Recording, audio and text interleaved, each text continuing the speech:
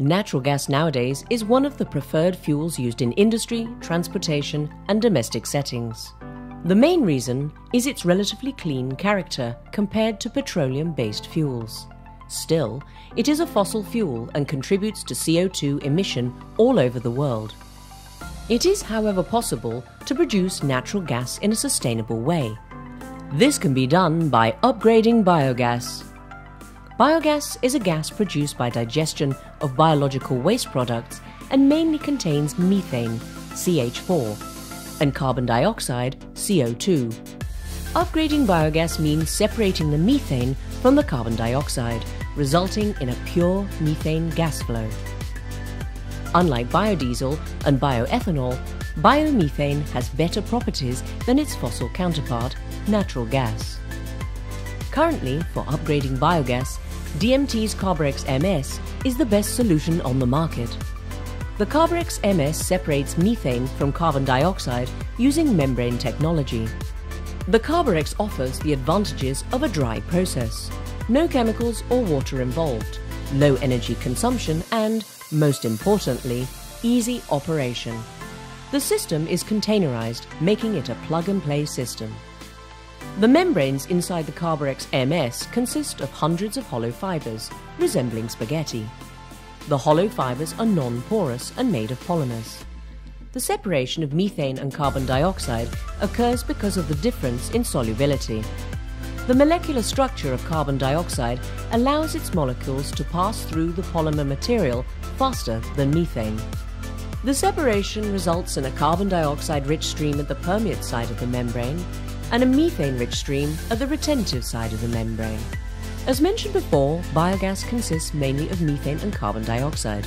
However, there are some other components that have to be removed before entering the membranes.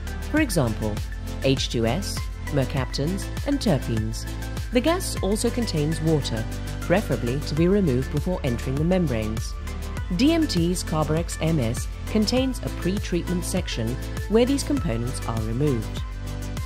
The next step is to compress the gas up to 16 bar with a compressor. The high pressure is needed to press the biogas through the membranes and to separate the CO2 from the methane. A sophisticated filter street, meanwhile, keeps the membranes clean.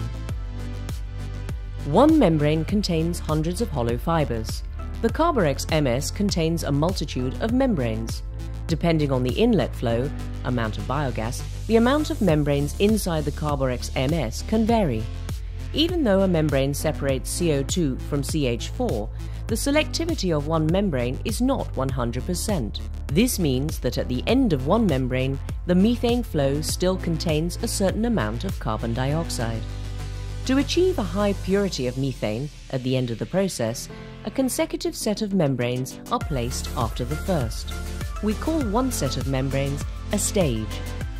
The multi-stage process can in this way achieve methane concentrations of up to 98%. On the permeate side, because of intelligent recycle loops, the methane concentration in the carbon dioxide stream can be reduced to less than a half percent.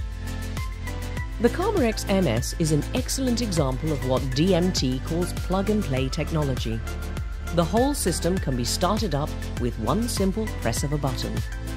Due to the limited mechanical parts, the system is very low in maintenance.